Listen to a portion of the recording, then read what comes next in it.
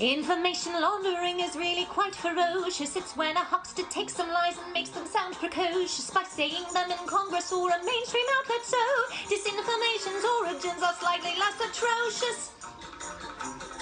How you hide a little, hide a little lie. It's how you hide a little, hide a little lie. It's how you hide a little, hide a little lie. When Rudy Giuliani shared that intel from Ukraine, or when TikTok influencers say COVID can cause pain, they're laundering disinfo, and we really should take note and not support their lies with our wallet, voice, or vote. Oh. This is the point of the show. We're going to say we're kidding, we're making all of this up. It's not really happening in the country you were born in, but it is happening. That's now a law enforcement official. It's also the person you just saw, an individual who brags about getting a master's degree from Georgetown University. In case you're wondering if the entire academic credentialing machine that sustains America's ruling class is in fact a joke. Spoiler alert, yes, it is a joke. Yes, it is a joke, ladies and gentlemen. Welcome to our evening edition of The Benny Show, where we are bringing you the most important document and report that possibly you will ever see. It will certainly determine the direction of our nation as to how we handle this report from The Intercept. Man, what are we doing? We're reading from The Intercept, a site so communist that Glenn Greenwald had to leave. They kicked out Glenn Greenwald. And here they go with the largest bombshell in my lifetime.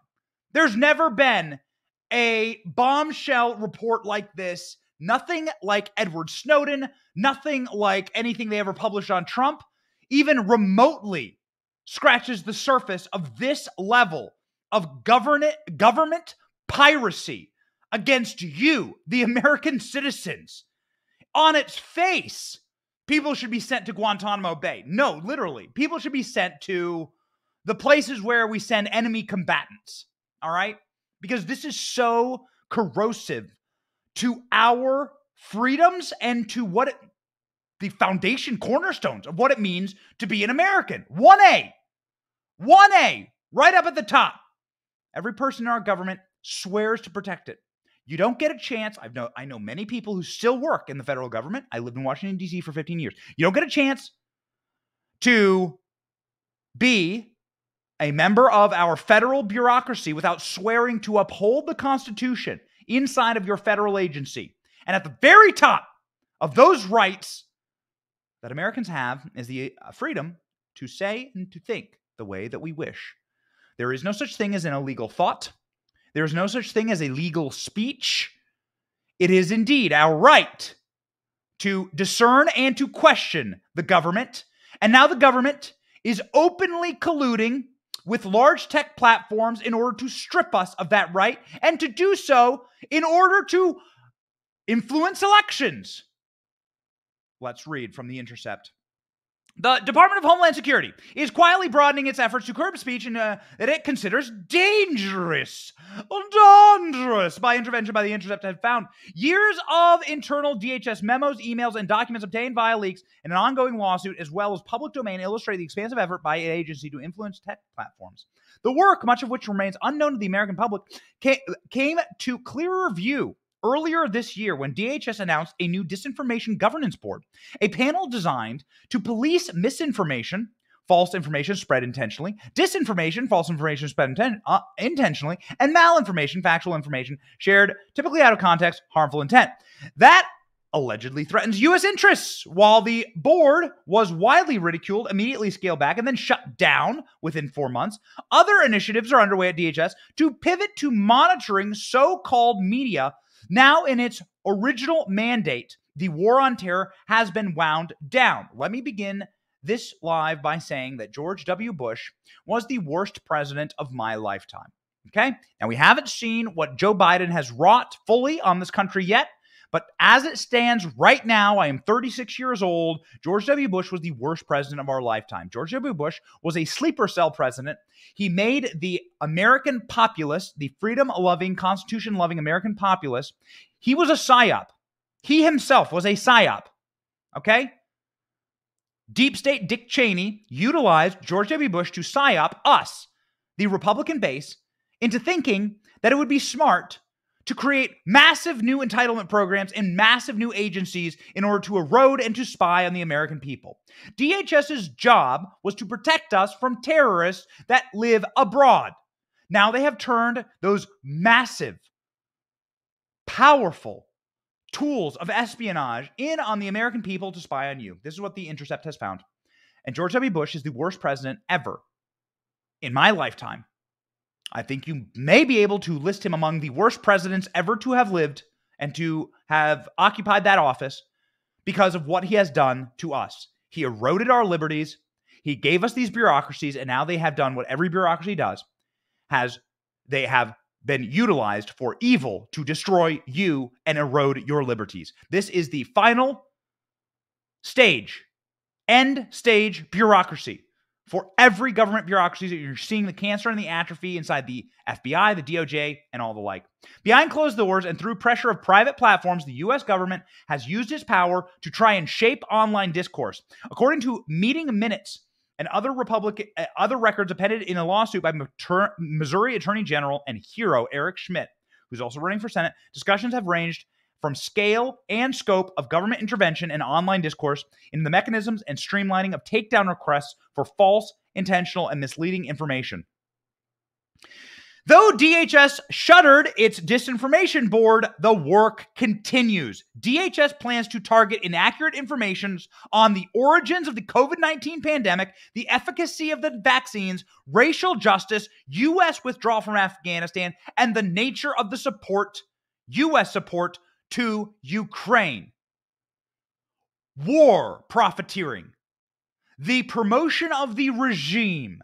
That is what this is about. Big corporation, big tech fusing with big government, creating by definition a fascist state. That is what is happening here. Why are we learning about this? Because The Intercept is a right wing site that wants to give you this information? No. We're learning about this probably because Elon Musk took over Twitter. Because Vijaya Gadde, the loathsome, venal, and utterly repugnant Twitter health and safety, health and safety director, the health and safety lady, she was kicked out on her ass day one by Elon Musk she was meeting monthly with DHS and the FBI and the tyrant state in order to try and tamp down on your speech. You heard the list right there, directly from the article. The origins of the COVID 19 pandemic and the efficacy of the COVID 19 vaccine, racial justice, U.S. withdrawal from Afghanistan. What misinformation is there about the U.S. withdrawal from Afghanistan? That 13 American soldiers were butchered unnecessarily? That the regime botched this and got it so ass backwards that we became the laughing stock of the world? What exact misinformation is there? No, no, no. All this is is for war profiteering and to protect the regime. That's what this is for. And big tech bent right over and let them in. Facebook created a special portal for DHS and government safety partners to re- directly report the content that they didn't like. We didn't like this content. Please take it down. Executives from Twitter, Facebook, and Microsoft held regular meetings with the Department of Homeland Security to discuss censorship and a wide ranging topics, including the withdrawal from Afghanistan, coronavirus, and racial justice. What exactly does racial justice have to do with this? Pray tell.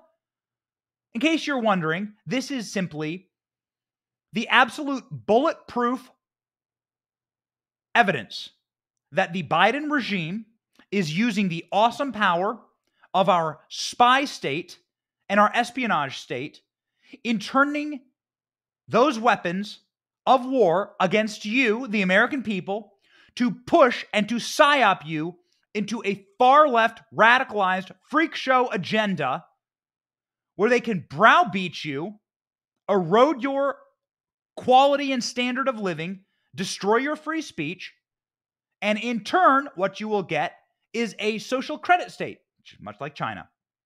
They are also using this in order to influence and rig elections. Yes, that's right. They met with the FBI, according to Mark Zuckerberg.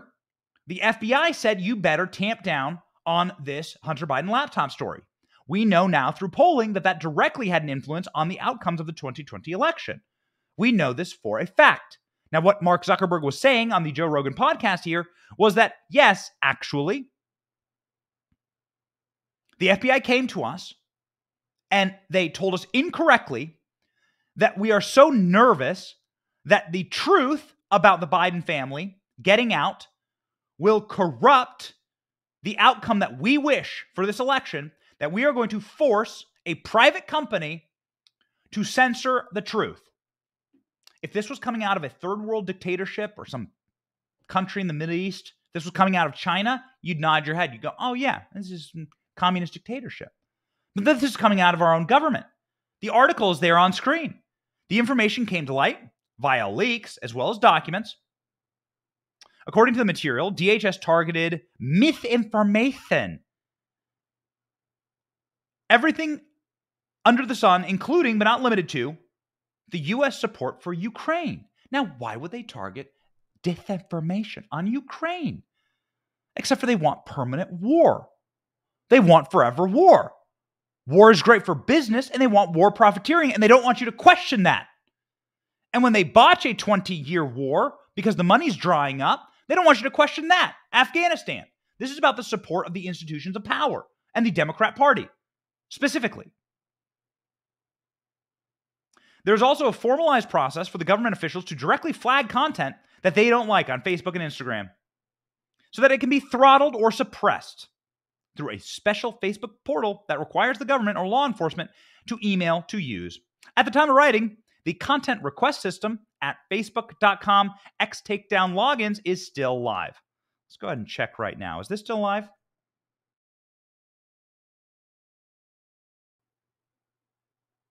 Yep. Still live. There you go. There it is. Still live. Right there on your screens. Request secure access to Facebook Content Request System. This portal is for onboarding partner requests pertaining to content issues with Facebook and Instagram. In case you're wondering if your government is colluding in order to erode your civil liberties. The FBI declined to comment. Meta declined to comment. In June, the same DHS advisory board which included Twitter's head of legal policy, trust, and safety, Vijay Gadde, who is now currently standing in a bread line in San Francisco, trying not to get, um, you know, trying not to step on any syringes. Just kidding. She probably got like $50 million. I think that uh, Parag Agrawal got like $40 million on his way out. Too bad. And the University of Washington uh, professor drafted a report, a report to the government. So here's a private entity drafting a report to the government saying, strap that ball gag on hard, baby. Govern me harder, daddy. I want it now. I want it. And I want you. I want that censorship stick, and I want it to hurt. The report called for the agency to closely monitor social media platforms of all sizes, mainstream media and cable news, hyperpartisan media, talk show, radio, and other online sources. They argued that the agency needed to take steps to halt the spread of false and misleading information, and that focus on this information undermines key democratic institutions, such as the financial system. Oh, that's interesting, because if you look right here in the second paragraph of the original Intercept report, you will find that the FBI official that was running all of this crap, that she was also meeting with executives at JP Morgan Chase. That's a massive banking institution. I wonder, hmm, let's see here. Where have I seen in recent news that people are going to be debanked for misinformation? Where have I seen that? It's almost like, it's almost like, let's see, hold on. There's a, oh, that's right, a ruling now by PayPal to find people to steal their money if they publish thought crime. Remember that? Well, it's back. Apparently, PayPal re added that into their terms of service. And so there it is, right in the TOS. 5,000 bucks you can be fined for for thinking things that they don't like. They'll just steal your money. These jackals, barbarians at the door, these people. They are preparing to debank you. They debanked Kanye. They're preparing to debank you. Trust me. Why do you think Joe Biden's out there banging his fist together, talking about how MAGA is an extremist terrorist group? Because DHS decided to no longer monitor terrorism. The purpose of DHS was the global war on terror. And now they're going to monitor you. You're the terrorists. Get it? Tucker Carlson covered this last night. Of course, we have to we have to like pay homage to the throne. Tucker Carlson breaking this report down. Earlier this year, the Department of Homeland Security published its established its own Ministry of Truth. It was so ridiculous it had to be disbanded almost immediately. The woman running it was so far out, she was a parody and discredited the censorship movement. But that doesn't mean DHS has stopped trying to censor you. Oh, they are. You just didn't know about it. Thanks to The Intercept, which just obtained many years of internal documents from DHS, we know that companies like Facebook and Twitter have been working closely with the Biden administration to, quote, curb speech that the administration doesn't approve of. Emails also show that Twitter's top censor, Vijay Gadde, which was fired by Elon Musk, met every month with the Biden administration censors at DHS to talk about new ways to get you to shut up in unconstitutional fashion. Reading to you from Webster's dictionary here, the definition of fascism, as academically understood, is the fusion of the state with corporate entities in order to have total power. Vijaya Gadde is a fascist. She met with the government. She is a corporate C suite level employee at Twitter, meeting with the government entities in order to make sure that the massive stick of censorship can govern you harder, daddy. To make sure that these oath breakers inside of our federal government are able to use the Constitution as a gag and to strangle you with it, metaphorically. But but but guys, there's emails in this in this report from emails in this report from Microsoft talking about how, hey, listen, you're just going to have to get used to the government being involved in private business. We're just going to have to get used to it. Some like some like uh, Bill some Bill Gates water boy running around at Microsoft. We're just going to have to get used to the government in our lives. People are going to have to get used to government intervention.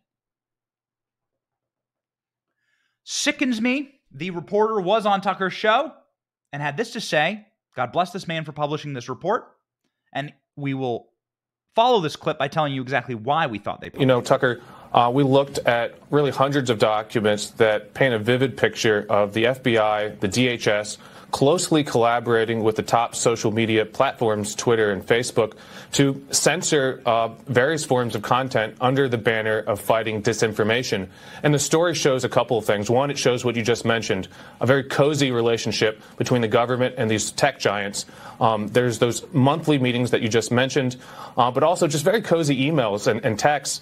Um, not a very adversarial relationship. You know, we looked at one text where Microsoft executive texts uh, Jen Easterly, the top disinfo um, director at DHS appointed by Biden, basically saying the government needs to get, the private sector needs to get more comfortable with the government. Um, they're closely collaborating on reports talking about the expanded role for DHS in censoring a, really broad uh, collection of, of, of, topic areas, of, of policy and political topics. And, you know, just broadly speaking, uh, the story also just looks at the mission creep of DHS. This, this is an agency that was founded in the aftermath of 9 11 to combat foreign terror threats of Al Qaeda and the like. Um, but over the last five years, it's kind of uh, evolved in its mission. It's moved towards fighting disinfo, and their justification is, you know, uh, disinformation radicalizes uh, the homeland. It can lead to disruptions in public health or in political violence. Um, so they, they, yeah. they, have a justification. We have these documents, and, and they're pushing forward uh, with this broad uh, censorship agenda. We often do not do this, and there's a rule against it on our show because nobody likes uh, a braggart. But we told you so. We told you so. And it makes us so it makes us so upset throw our papers. We want to throw our papers. We're angry. We're angry. We have righteous indignation. We told you so. Media Matters clipped this. They went nuts because we heard on our program the keen eyes of Danny DeUrbina and ALX, the Lord. They heard Jen Psaki say something, and we caught it before anyone else. And we said, What is this? Jen Psaki saying that she sits down with Facebook and tells them what to censor. These jackals, they straight up told you what they were doing. And if you were listening, and we were, you would have freaked out about it like we did at the time. Everyone told us to calm down. Well, who's laughing now? This is a big issue of misinformation, specifically on the pandemic. In terms of actions, Alex, that uh, we have taken, or we're working to take, I should say, from the federal government, uh, we've increased uh, disinformation research and tracking uh, within the Surgeon General's office. We're flagging problematic posts for Facebook uh, that spread disinformation. We're working with doctors and medical professionals to connect uh, to connected medical experts with. That's all you need to hear. Okay, that's all you need to hear. The clip is longer, but that's all you need to hear. We're flagging problematic posts for Facebook. You degenerates. Where is the Gitmo trials? I want trials. Where are the trials? I want impeachments. I want letters from lawyers. I want investigations by Republicans. I demand trials. These people are oath breakers. You, right now, currently watching on social media, tens of thousands of people right now across all platforms watching on social media. The federal government right now has agencies devoted to eroding and stealing and destroying this show, your speech, your rights. The only job of our government is the protection and upholding of those rights the federal government is working with private companies to force them to censor true information or information that they don't like. Afghanistan withdrawal, COVID 19, racial justice, or Hunter Biden's laptop, as we know for a fact based on polling done by the Media Research Center, the censorship of the Hunter Biden laptop story had a had a truly non-de minimis outcome on the 2020 election. According to the Media Research Center, it was enough to swing the election for Donald Trump. So yes, influencing elections, meddling in elections, our elections. Why are they releasing this? Because Madman's in charge of Twitter. That's why. Madman's in charge of Twitter. Madman. Elon Musk got all these messages. Most of these messages centered around Twitter because Twitter is always the first. Twitter was the communist cesspool, the think tank for censorship. It was the USS censorship run by Marxists and fully and totally compromised by the national security state. And when Elon Musk got a hold of these messages, they began to leak. Now, we do not have definitive proof that Elon Musk leaked these messages to The Intercept, but we know in our bones that the reason they're publishing this and getting ahead of this story is because Madman took over Twitter. And he was going to leak these messages as soon as he found out. Elon Musk has begun leaking messages.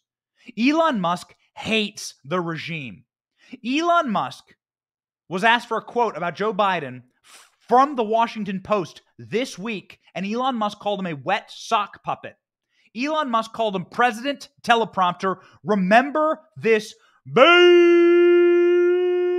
moment from Sweet Elon. But it's not as if Biden has flipped the script and said, okay, we're going to go 180 degrees in the other direction. He's kind of kept it the same which has been really surprising, actually. Man, it's hard to tell what Biden's doing, to be totally frank. Um, you know, like, yeah, like I, I, feel like it's the, weekend at Bernie's. the, the, the, the, real president is whoever controls the teleprompter. You know, It's like it's like it, the, the, what, the path to power is the path to the teleprompter. It, you know, like what what because that then he just reads the teleprompter. So you know, I, I do feel like like if, if somebody would accidentally lean on the lean on the teleprompter, it's going to be like Anchorman. It's going to be like Q Q Q ASDF one two three, you know, type of thing. Um, I mean, in fairness to Biden, he, he hasn't been napping as much as he needs to, but well, it's, it's, it's, just, it's it's hard to say hard job. these sort I mean, things just, that are getting done. You know, It- th- th- this, I mean, this administration just just it doesn't seem to get a lot Joe Biden threatened to blow up Elon Musk's Twitter deal. Now, he couldn't get it done. They tried. They tried to stop the purchase of Twitter by Elon Musk because what Twitter was doing was essentially purchasing a fourth branch of government. He was essentially purchasing a PSYOP bot site intended and fully operated, as is revealed here, by our federal government and the agencies without and within. This is the biggest story of our lifetime. These people are truly deserving of Gitmo trials. The, pe- the person who would put them there is, without question, far and away and by miles, the best man on this issue, Josh Hawley from the United States Senate, who was red hot last night about this report. So, what are we going to do about it, Senator? Well, what we're going to do is hold the people accountable who've repeatedly lied to us, Jesse. And that includes, by the way, lying to my face because I sat there and listened while Alejandro Mayorkas, who's the head of, of DHS, Homeland Security, said, Oh, no, wait, this board is just a working group. That's not true. This board has never met. That's not true. We're not actually monitoring American speech. That is not true. You know what really is disinformation, Jesse? What's really disinformation is that the Biden administration believes in democracy. Because here's what they think. If you will do what they tell you to do and believe what they tell you to believe and vote the way they want, then they're for it. But if you want to have your own idea or speak your own mind or look into things for yourself, then they will monitor you, then they will censor you, then they will use the government against you. Jesse, that right there, that is a threat to our democracy, and we've got to do something about it. I'm They will monitor you, they will censor you. And Josh Hawley said that DHS, Alexandro, Alexandro Mayorkas, Alexander Mayorkas, that he lied to his face. That he asked him about this and he said he'd shut it down. These people have lied to your face. These people are goblins. They're salty goblins. There are so many lies that happened to the faces of senators. It was impossible asking my team to go find the worst examples. But here, ladies and gentlemen, is our favorite example for certain. When Rand Paul went so hard at Fauci that Fauci literally began to involuntarily shake because of his lies. Fauci, of course, being a person behind. Where do you think this is coming from in the report? Here it is, right at the top of the report. Top of the report. Top of the report. We are going to censor people who say things we don't want them to say about COVID or the COVID vaccine. Where do you think that comes from?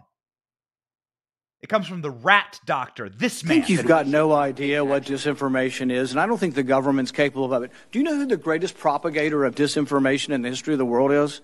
The U.S. government. Are you familiar with McNamara, the Pentagon Papers? Are you familiar with George W. Bush and the weapons of mass destruction? Are you familiar with Iran Contra? I mean, think of all the debates and disputes we've had over the last 50 years in our country. We work them out by debating them. We don't work them out by the government being the arbiter. I don't want you guard guardrails. I want you to have nothing to do with speech. You think we can't determine, you know, speech by traffickers is disinformation? You think the American people are so stupid they need you to tell them what the truth is? You can't even admit what the truth is with the Steele dossier. I don't trust government to figure out what the truth is. Government is largely disseminating disinformation. Uh, okay, couple things here. One, based Rand Paul. Two, that is not the Rand Paul Fauci clip. We will play that in just a moment. We apologize. That's Alejandro Mayorkas getting abso- an absolute truth enema from the good doctor, Rand Paul. He did it surgically, and it was painful, and it was really, ladies and gentlemen, something to see. When Rand Paul goes in, I've watched Rand Paul do surgery. I actually went to Haiti with Rand Paul and watched him do eye surgery. Dude, this guy is a truly masterful surgeon. And the way that he goes at these guys breaks them. Who did they want to put in charge of this channel, your channel? You have a you have a channel. You wouldn't be able to watch this if you didn't have a channel. If you didn't have your own Facebook, Instagram, if you didn't have your own well, we're not live on Instagram. YouTube, by the way, what up to YouTube? God bless all of you. We're getting some record viewership right now on YouTube. Uh, you wouldn't be able to watch this if you didn't have your own channel. You have your own channel. You have your own site. They monitor you. They go through in this report and say that one of the accounts flagged had 21 followers. It was listed as a parody account, and the avatar of the account was that demonic blue horse from the Denver airport that everybody says is uh, like a satanic symbol. That was the account. They were flagging essentially Stan accounts, sock puppet accounts, as dangerous disinformation. This is how weak these people are. This is how terrified the regime is. And this is why Elon Musk, he is beginning to release internal documents. He's beginning to release the Twitter file. He's going to release the document. I mean, listen, Zuckerberg came out. Zuckerberg came out and said, "Yo, the FBI came to us to try and destroy free speech." And you know what? We didn't we didn't all but we didn't completely censor it, but we tamped it down. We deboosted it. We made sure that you couldn't see it. Why? Because of this, this story, and Joe Biden. And Joe Biden deserves total and complete impeachment for this. The person that they wanted to censor you, the person that was in charge of you and your content online, who was going to be the arbiter of what you can say and whether you sharing a, a meme about the US withdrawal from Afghanistan or the Ukraine war gets you kicked offline and essentially debanked on social media, right? Because it's really just debank. It's just it's just depersonhood. It's the same thing. If you steal someone's social media, if you take that away from them, this is the public square. I may be in my house right now. We have a studio in our house, right? We have we have spare bedroom. That's where I am right now. But I am able to speak to you. This is the public square. Let's say I was standing in Times Square, I'd be able to to yell on a box. Free speech. It was never intended to just be that because free speech applied to and was the most protected for people with large platform, newspapers, publishers, media outlets back when it was written. 1A. And they are violating it. And who do they want in charge?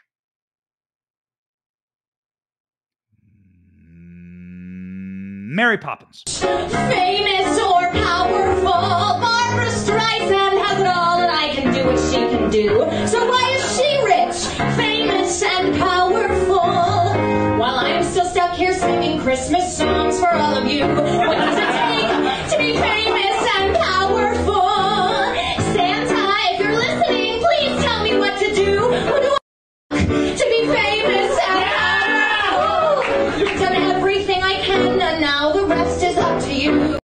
My God, my God. Okay, I'm sorry.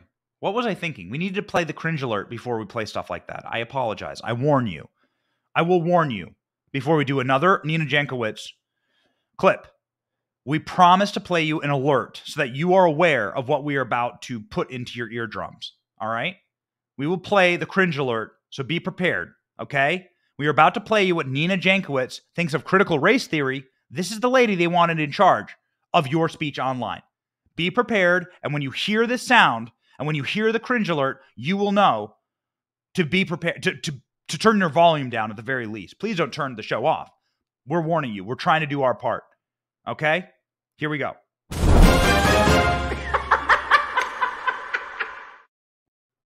Critical race theory has become one of those hot button issues that uh, the Republicans and, and other, you know, disinformers um, who are engaged in disinformation for profit frankly. There are plenty of you know media outlets that are making money off of this too have have seized on. And i live in virginia uh, and in loudoun county that's one of the areas um, where people have really honed in on this topic. Mm, okay, got it. So the lady who says that the critical that critical race theory being taught is a myth, the lady who was totally in favor of the censorship of the Hunter Biden laptop story, totally in favor of rigging the election, that lady That lady's going to be in charge. This is why the regime is running terrified. This is why they are so scared. This is why Dr. Fauci shakes under questioning because it is in total collapse. They are aware, by the way, that they are in collapse. That's why rat doctors like Dr. Fauci are leaving. They're fleeing government. Dr. Fauci is resigning this month, by the way. We should throw a party. We'll do a live party, pop champagne. Dr. Fauci is resigning this month because he knows what's about to happen. They're about to get all their documents. The reason you're seeing this report is because Elon Musk is about to reveal all their documents. Can we get up the tweet, by the way, guys? Can we get the tweet of Elon Musk? His just his first beginnings of the release of the text messages inside of Twitter. Why? And and also, can we get that? And the I want to put up the Vijaya Gadde cried during her meetings about this. There's a reason why. Elon Musk has begun to release the messages. We are going to be able to see Dr. Fauci's internal communications. We're going to be able to see everything. You're going to learn the truth. You have uh, we don't we don't deserve it, but we're going to we're going to get it from Elon Musk. God bless him. We don't deserve Rand Paul either. This was the clip that I was originally going to play you of Dr. Fauci getting shaking and turning into like essentially having a seizure under questioning from Rand Paul. And the reason he's having a seizure is because of what's on your screen right now. Before you. Hallelujah. Hallelujah. Elon Musk. Elon Musk is releasing the internal communications of Twitter. There you go. Wow. Looks like Twitter board deliberately hid the evidence from the court. Stay tuned. More to come. Why do you think they're getting ahead of this? Why do you think they're getting ahead of it? They're getting ahead of it because Twitter, they knew what they did. They were a government spy agency to destroy your civil liberties. They Dr. Fauci was the same thing.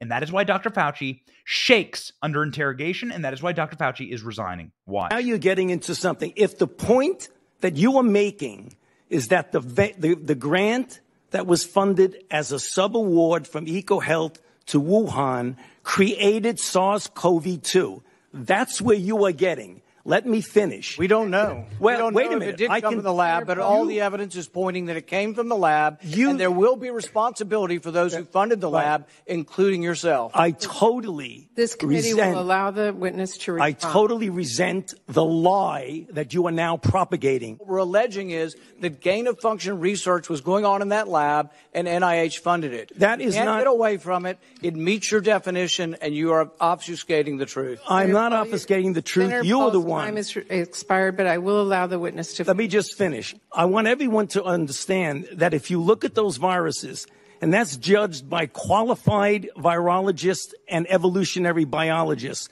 those viruses are molecularly impossible. You see it? Did you see the hand? The team is doing an amazing job here, live clipping. Did you see the hand? Did you see Dr. Fauci? There in the corner. Involuntary seizure. This is because his heart rate is going through the roof and because he's scared. He's running like a rat. He's resigning because he does he knows that the documents are going to come true to the public light and he knows that madmen like Elon Musk are going to release hell on these people. Check out this uh, article on the screen right now. Twitter's top lawyers reassure staff cries during meeting about Musk takeover. this is Vijaya got it. Vijaya Gadde. She was fired. Fired. Day one. This sick, insipid person. Man, do we have that Tim Pool clip? That based Tim Pool clip? I know we played it. I know we played it a couple of uh, a couple of lives ago. That based Tim Pool clip. I don't know if that's her on screen. Is that her on screen? Have we confirmed that? Is that her? That's definitely someone who's not happy with Elon Musk. Vijay Gadde, man, uh, got completely BTFO'd back in the day by what Tim Pool would call Fat Tim Pool. That's what he said on his show the other day. And we love Tim Pool. We were up on his show uh, a couple of a couple of weeks ago, and Tim Pool went on the Joe Rogan show. According to Tim Pool, his job was to be the inquisitor and to question uh, to question uh, Vijay Gadde on Twitter's insane censorship policies. And Tim Pool did an absolutely spectacular job. The reason why we know that Vijay Gadde belongs in jail, that Vijay Gadde belongs before a congressional committee at the very least, is that here she is on Joe Rogan's podcast, the most listened to podcast in the world, the most listened to man on the planet, and she is taking that massive audience and she is literally lying to them. She is literally saying, No, we're not doing the things that you're accusing us of. And here, standing before us right now, is the article from The Intercept, a far left wing publication, stating definitively that Vijay Gadde in this clip to Tim Pool's face and to Joe Rogan's face lied.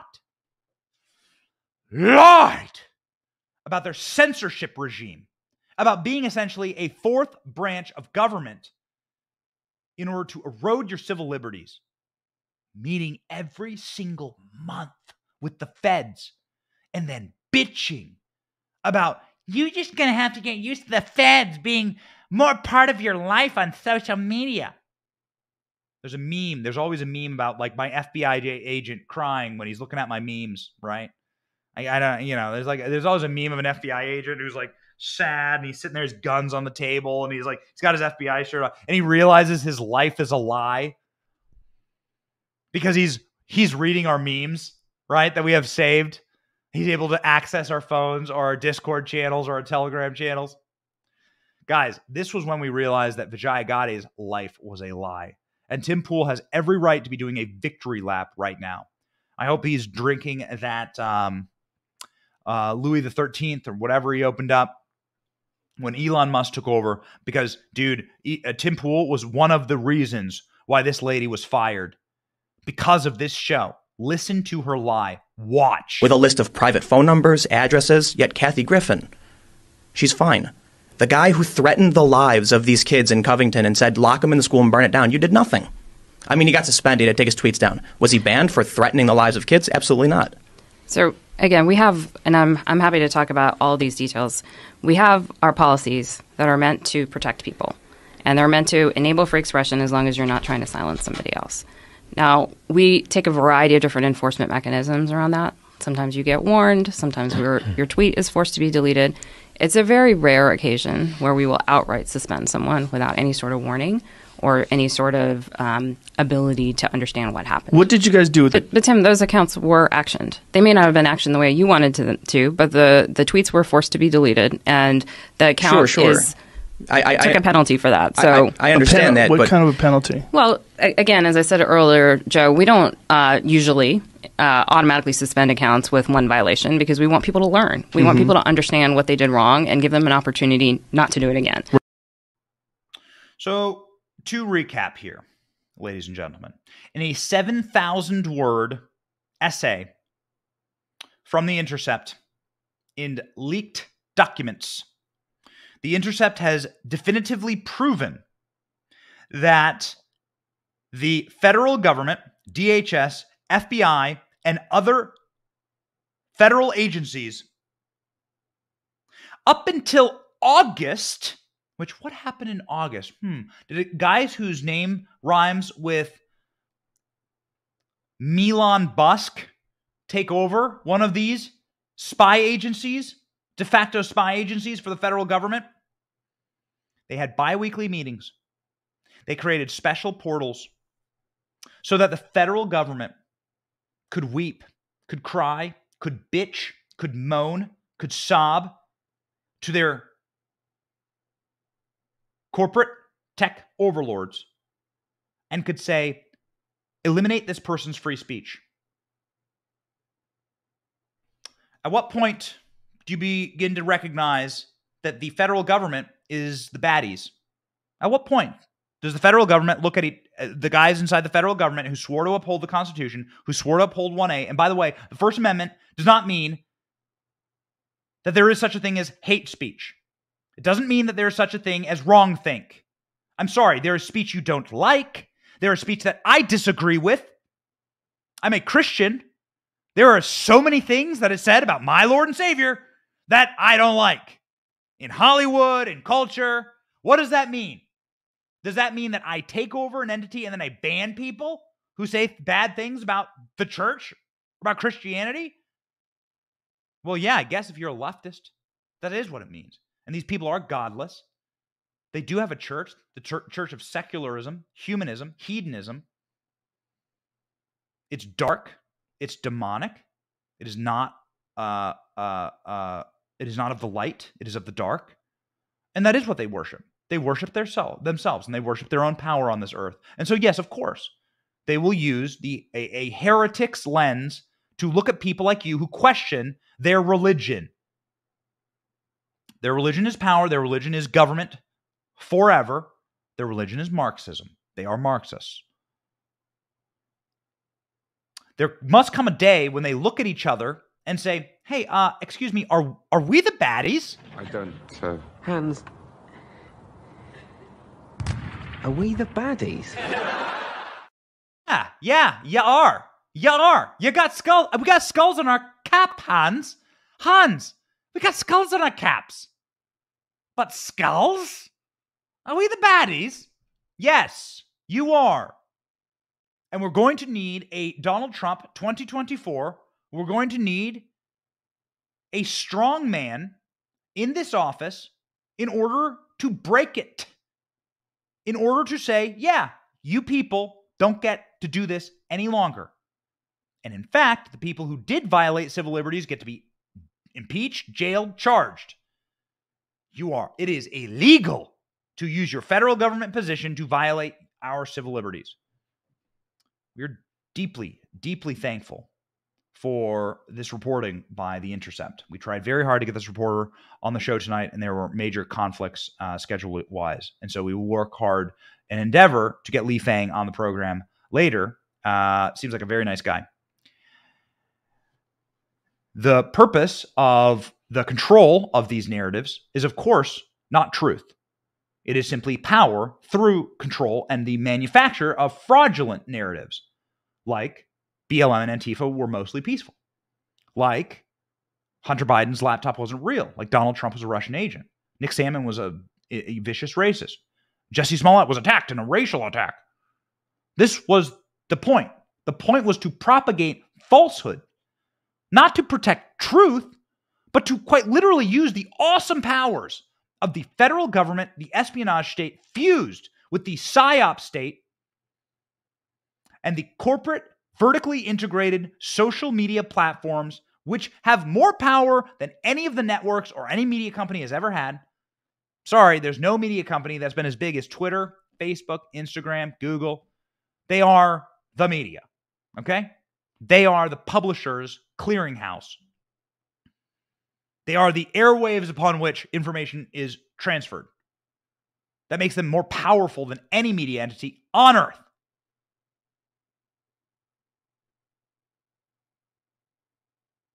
And so when you are warping and perverting and using these agencies for your degenerate